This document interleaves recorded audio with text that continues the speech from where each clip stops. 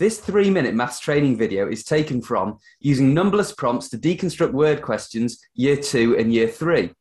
In it, we have a look at a bar graph question and how using the slow reveal technique can get children thinking about the different possible questions that could be asked. Now, for the final example, what I wanted to look at is how just these same principles uh, have applied for me in, in, um, in data contexts. Um, and essentially looking at how we can layer the information as it's presented to get children to look at structures, see possibilities, and not be too quick to have to get to the point where they have to find answers. So, a way of doing that, essentially, I've taken a question, I've just covered lots up. Um, and then created variations on, on those questions. So I could say, well, give, what, what could this graph represent here? Um, what information will we see? Uh, what could it be? Or what, what else could it be? What couldn't it be?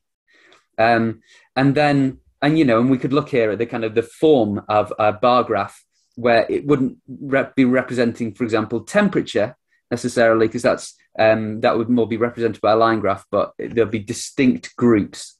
And then we could look, and actually, it was the number of pets. There we go, and it's dog, cat, rabbit, and fish. And then I could say, well, what do you notice uh, from here? And, and ask children to make specific observations.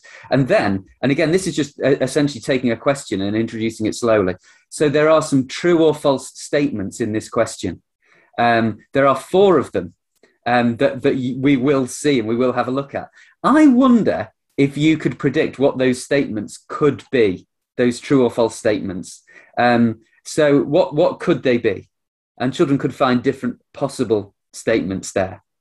Um, and then if I want to be more directive, I could show the first part um, of each statement. So there are, as opposed to there are 10 more altogether, and most of, um, for children to predict, well, what could the rest of the statement be?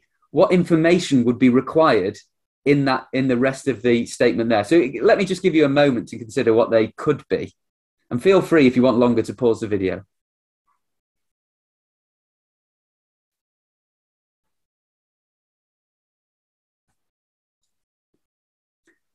And then again when we actually have a look at the information and again we've got so much more there from from just one task um, we hopefully then are in the position of having understood the deep structure and we we've interpreted how we need to collect that information.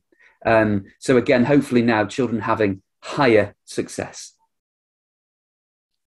To access the whole video go to iseemaths.com training online teacher training, and all the information that you'll need can be found on this page.